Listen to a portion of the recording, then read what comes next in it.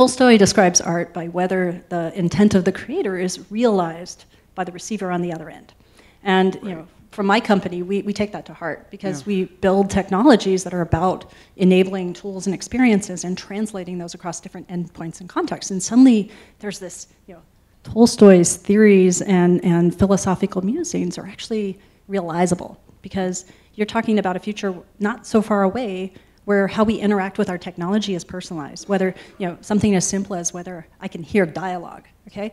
That's something that's going to be driven by AI because we have the hooks in place today to be able to amplify that dialogue. Because if you can't hear it, I promise you're not having the experience that the creator intended. The connection. And that can all happen by you know cognitive tracking cognitive load by my pupil or knowing something about you know I can pick that up in your ear. Suddenly I have a, a different interface that's driven by AI, driven by the fact that now this lab-based technology and computational complexity lives on a chip and the evolution of silicon to enable this in tiny devices in that ubiquity is, is really important. Mm -hmm.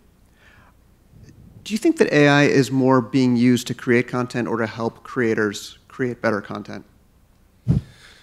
Um, so AI that creates content autonomously is, is not even close to what we can do. Um, you know, there's the, the techniques that are deployed now and that are very robust and reliable, such as deep learning, are very good at um, representing and analyzing sort of low-level data, right? So sensory data, you know, image data, sound data.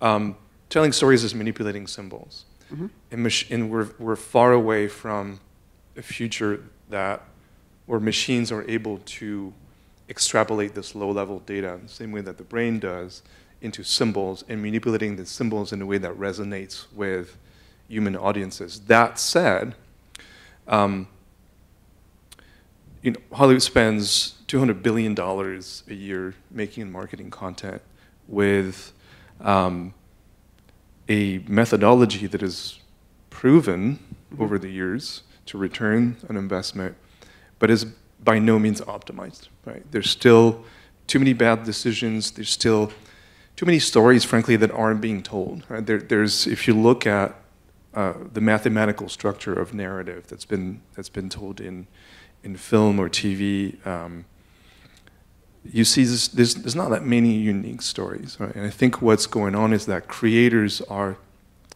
censoring themselves in telling stories that are tried and true over and over and over again.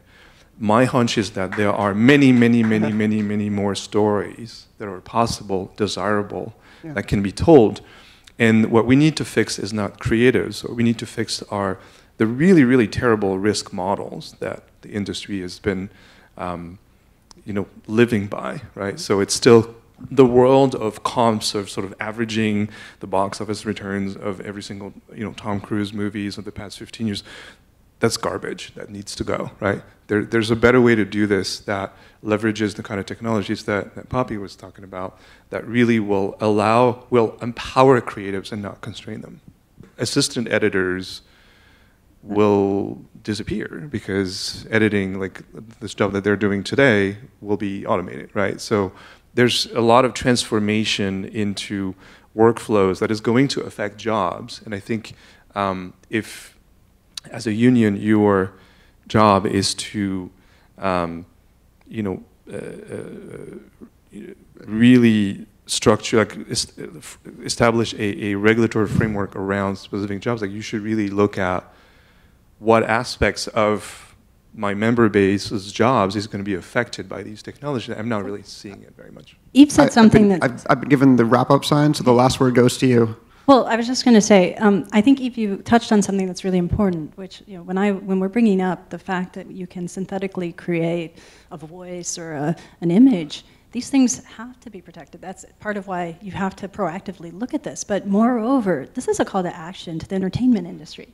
Look, the the line between truth and fiction is something that is pro, you know, is becoming too obscured, not just in entertainment, in reality. In well, I like to say we experience many realities, but that line between tr truth and fiction is something that we're going to have to, you know, proactively walk and um, define and protect